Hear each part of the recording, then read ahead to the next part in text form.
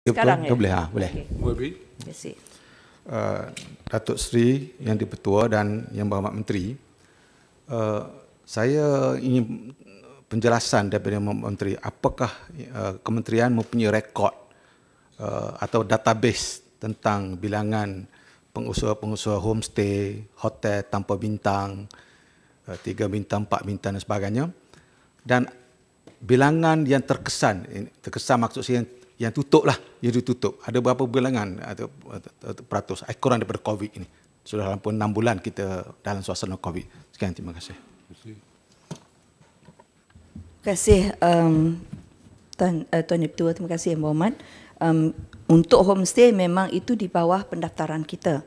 Jadi kalau ada um, apa nama kalau ada angkanya pihak uh, staff kita akan cuba.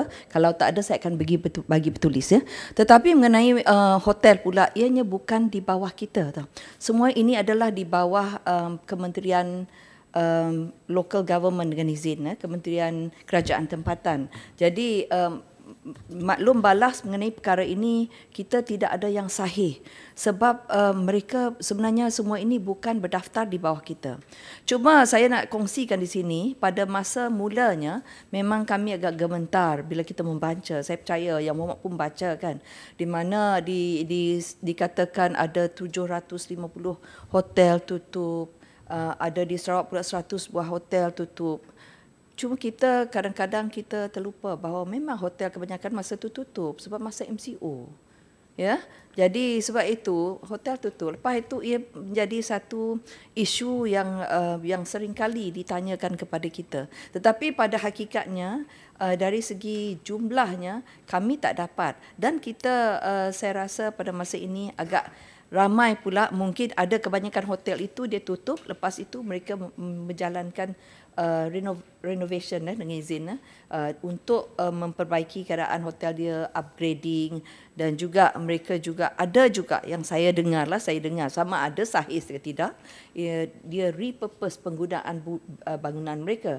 Tetapi setakat ini apabila sudah mula domestic tourism ini menjadi rancak semula tidak ada lagi kita dengar pasal hotel tutup. Cuma mungkin ada hotel-hotel budget eh, ada ada hotel-hotel budget yang masa masa ini kami belum ada uh, belum menerima um, maklumat yang sahih. Sebab so, kalau saya maklumkan di dewan ini kita tidak ada maklumat yang sahih maka agak sukar. Cuma dari segi homestay insya-Allah saya akan bagi uh, secara bertulis kerana kalau adalah di sini kalau tak ada kita akan beri secara bertulis ya.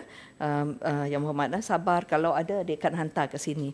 Jadi uh, terima kasih Muhammad um, pada Betul, saya Betul, betul. Okay. Uh, sekejap ah. Uh, ini ini adalah maklumat terkini ya. Terima kasih. Uh, sehingga 30 Jun 2020 yang lalu maklum balas yang diterima daripada Persatuan-Persatuan Pengurusan Hotel menyatakan sebanyak 36 hotel telah menamatkan operasi. Ini yang terkini. Dari segi uh, homestay nanti kalau ada saya kongsikan. Okey. Uh, terima kasih.